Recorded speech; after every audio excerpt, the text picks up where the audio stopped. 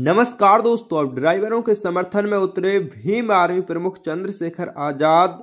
ड्राइवरों को लेकर संसद में पारित किए गए भारतीय न्याय संहिता में हिट एंड रन कानून को लेकर चंद्रशेखर आज़ाद ने दिया बड़ा बयान। जी हाँ मित्रों, आप सभी को पता होगा कि हाल ही में संसद में एक बड़ा कानून बनाया गया जिसमें आपको बता दें कि अगर सड़क पर कोई भी दुर्घटना घटती है तो ड्राइवर अगर वहाँ से भागता है तो उसे 10 वर्ष की सजा होगी।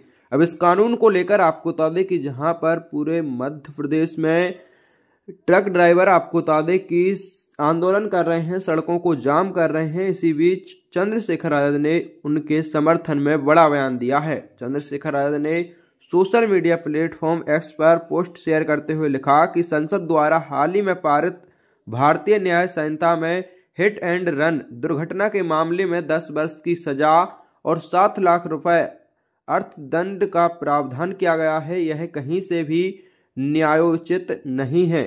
कोई भी ड्राइवर ऐसी घटना जानबूझकर नहीं करता और मैं देश भर में हो रहे वाहन चालकों के आंदोलन का समर्थन करता हूँ। मोदी सरकार को मेरा सुझाव है कि वो इस विषय में ड्राइवरों और दुर्घटना पीड़ितों के हितों को ध्यान में रखकर रखकर पुनर्विचार करें, अन्यथा जल्द ही वाहन चालकों के आंदोलन को राष्ट्रीय स्तर पर शुरू किया जाएगा।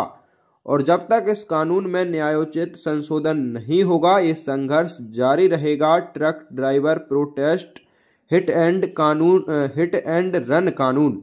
ये आपको बता दें कि चंद्रशेखर ने हैशटैग भी लगाए हैं। हालाँकि आपको बता दें कि खबर निकलकर यह सामने आ रही है कि अब जो हिट एंड रन कानून बनाया गया है, आपको बता दें कि वो लागू नहीं होगा और इसे सरकार लागू नहीं करेगी। फ़िलहाल आपकी क्या राय है? कमेंट करें। धन्यवाद।